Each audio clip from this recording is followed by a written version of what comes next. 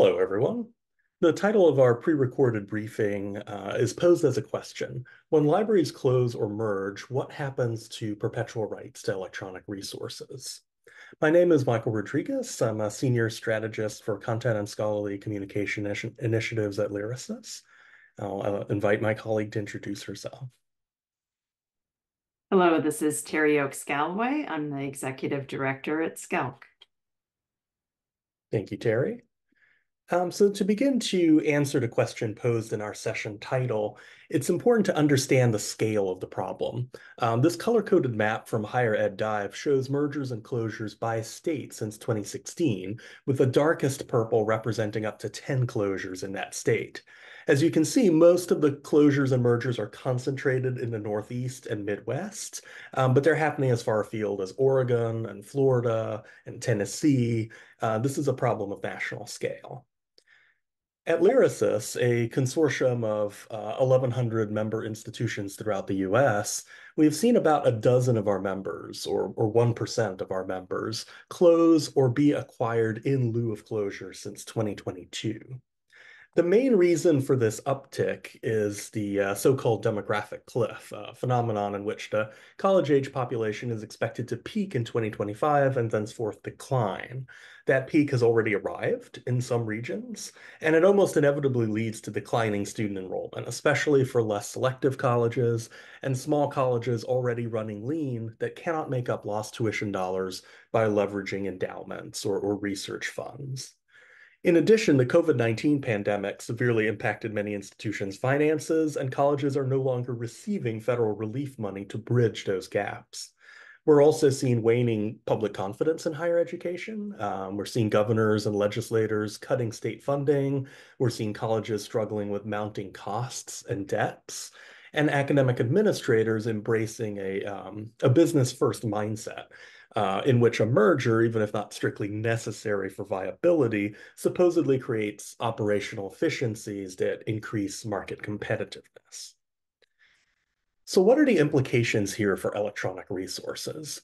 So first and foremost, few industry standards, norms, or best practices exist to govern circumstances in which institutions can inherit rights in the event of a merger or acquisition. In fact, vendor license agreements may explicitly bar such transfer of rights between institutions. We've also seen situations in which successor institutions, the ones that have acquired other colleges, may be forced to pay list price or something close to list price to effectively repurchase e-resources that the acquired institution had previously purchased. And there's also the arguably unsettled legal question of whether e-resources could potentially count as tangible assets that could be donated or resold at the wishes of the licensees or their successors. To try to bring some clarity to these issues, Lyrasis has begun incorporating a new transfer clause into our consortial licenses with vendors, explicitly stating that first, perpetual rights do in fact transfer in the event of a merger or acquisition. And second, that in a merger, vendors can charge only a reasonable one-time fee and only if a lot more users will have access to the e-resource than previously contemplated under the initial agreement. Um, this ensures, for example, that libraries need not pay twice for ebooks, which are usually sold at a flat fee and, and not based on FTE. Um, publishers have generally been receptive to this approach. We've incorporated versions of the language into, I believe, two license agreements so far. Um, but this is very much a starting point, and much more industry attention needs to be focused on this issue so that norms can be developed industry-wide. Uh, I'll now pass the mic to my colleague, uh, Teri Oaks Gallaway, who will dig deeper into this topic. Okay, I'm going to walk you through a discussion of a early foundational inquiry with the SCELC and the ICOLC communities on their experience with and knowledge of the impacts of institutional closures. Just some background on SCELC. Um, we are a um, electronic library consortium. is the original uh, uh, acronym for SCELC. It's a 501c3 nonprofit based in Los Angeles, and we serve around 100 member libraries and several hundred additional affiliate libraries. Roughly 85% are in California, and 40% of our affiliates are in state. In terms of our direct experience with mergers and closures, we've had three recent instances as shown here. We expect some of this to continue in our own community, and it was shared publicly very recently that two of our members, Woodbury and University Redlands, are also planning a merger. Today, I'm reporting on the results of our preliminary landscape evaluation, the importance of which is that, as Michael shared, many data sources point to the likelihood of additional closures of private liberal arts colleges. These are a significant portion of the SCELC membership.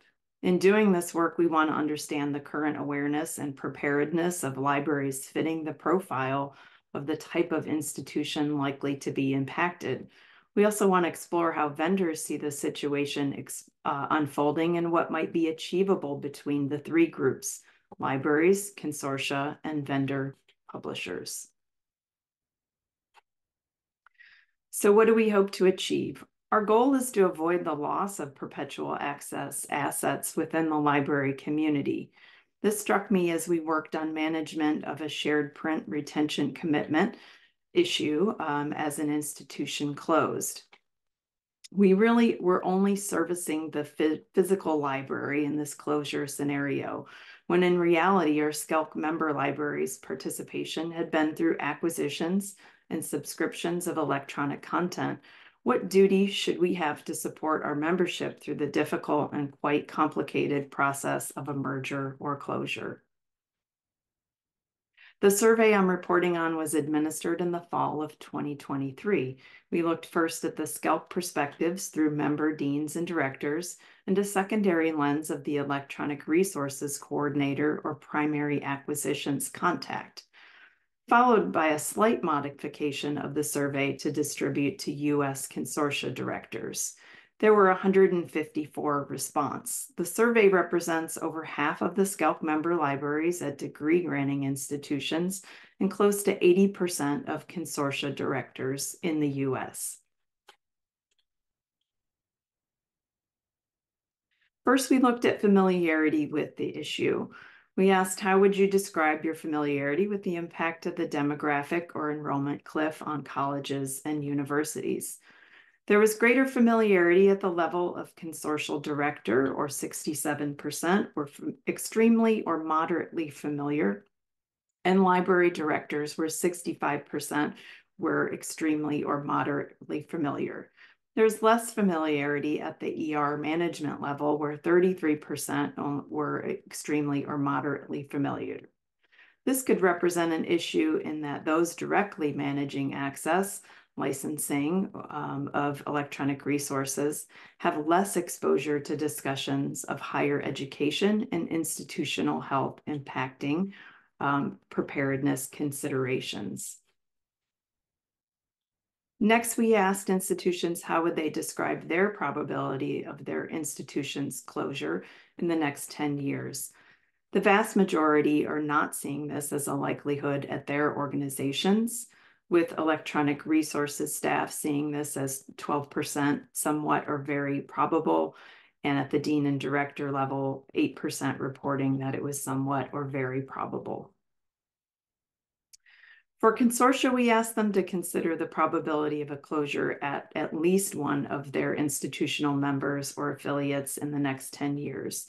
Consortia directors obviously representing a much larger geographic area but and many more libraries. But the perspectives of the directors is important. We see a difference in the likelihood within the SCELC libraries, which were more optimistic about their personal circumstances than US consortia directors overall.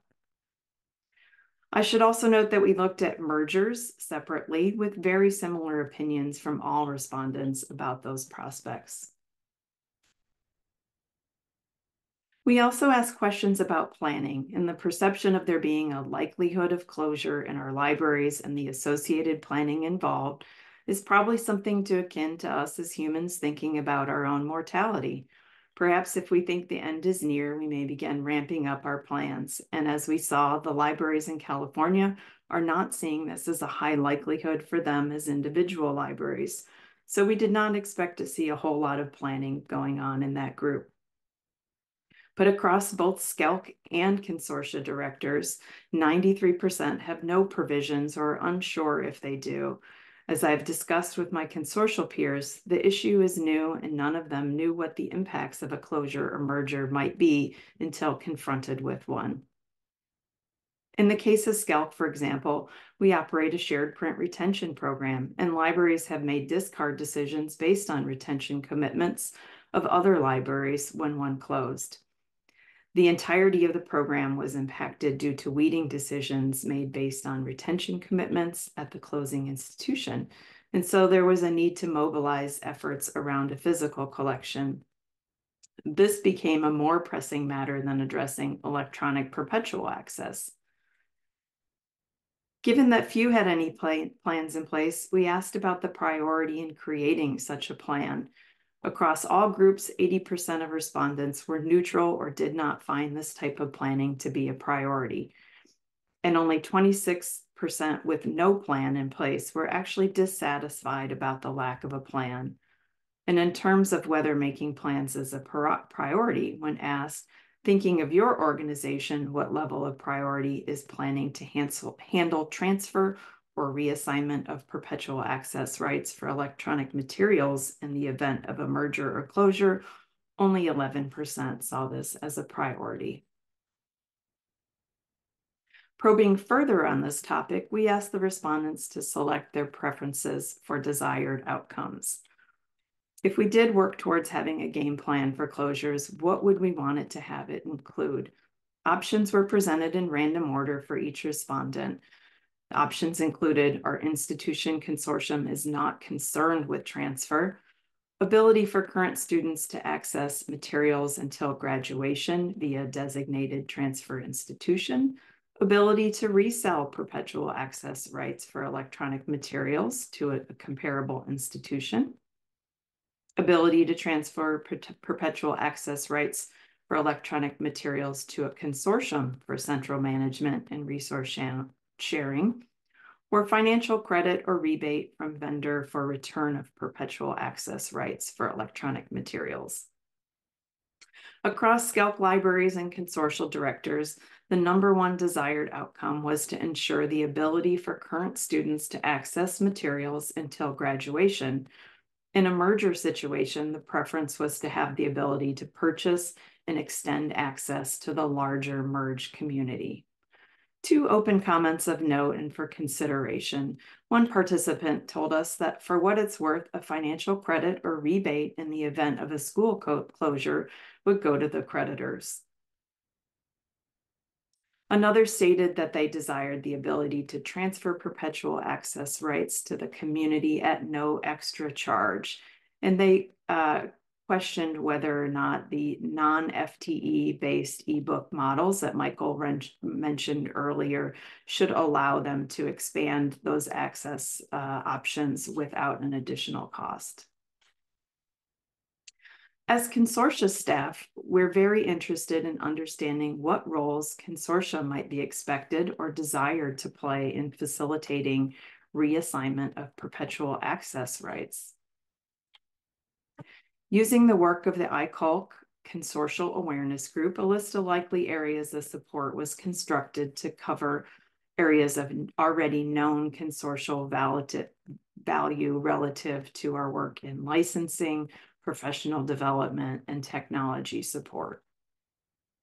Shown here are the selected options of over uh, agreement of over 50% of both library and consortial respondents. These areas represent what consortia are likely to be asked to perform as a closure or merger is unfolding. From a personal standpoint, this is quite accurate as a consortium whose fees and staffing models are based on acquisition of new material. However, this becomes a challenging role to fill.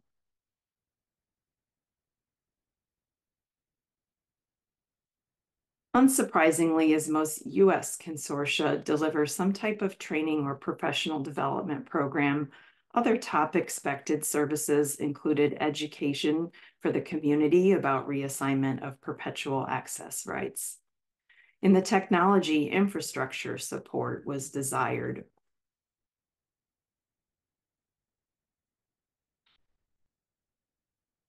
In closing the survey with an opportunity for additional comments, consortia not involved in licensing shared feedback that they did not anticipate being tapped to support closures or mergers, but others indicated that they were increasingly aware and concerned about their possible need to get familiar with the situation. Comments like, thanks for giving me something else to worry about in the middle of the night, it seems too overwhelming to think about, but it might help to have a toolkit available to help a librarian in the middle of it.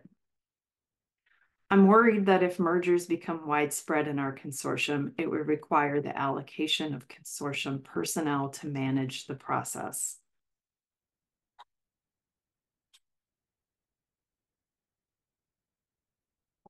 Shifting into publisher perspective, several of the key questions for libraries libraries and consortia directors were delivered to a handful of larger publishers with a few willing, a, willing or able to comment. We asked, how would you describe your familiarity with the impacts of the demographic or enrollment cliff on colleges and universities? And they were quite familiar. We asked, do you have provisions or procedures in place to handle transfer or reassignment how have you previously handled these situations? Similar to what we're hearing from libraries, publishers are also learning on the job. They cited note that there was no official roadmap and that every situation is different, but they recognize the challenge.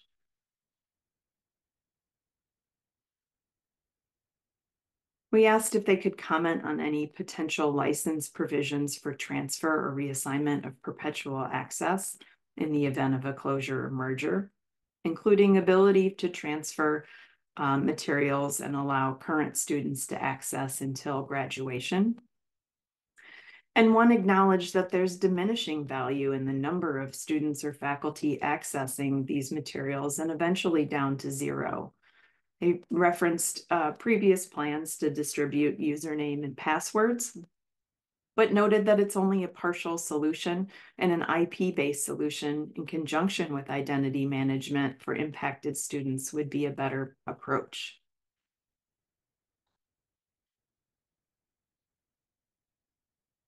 The concept of financial credit or rebate for a vendor from a vendor for return of perpetual access rights was also noted. And vendors responded that possibly, though the value of the materials may be difficult to assess, or that current policy does not allow for resale or provision of access rights by any third parties. As we at SCELC work through each merger or closure, a commitment to fair practices is, help, is a helpful starting point Similar to Michael in bringing this issue to one of our vendors, we agreed that we could not foretell the exact future and how we might need to solve for any given circumstance. But it was important to acknowledge the concept that these materials are assets with value that may be transferable. At SCELC, we continue to refine a list or, of questions we ask as mergers or closures progress but often our ability to act in advance is limited by tightly guarded information about what is happening if a university is hoping to recover or maintain their reputation. The university, creditors, and accreditors often dictate the timelines, not the libraries.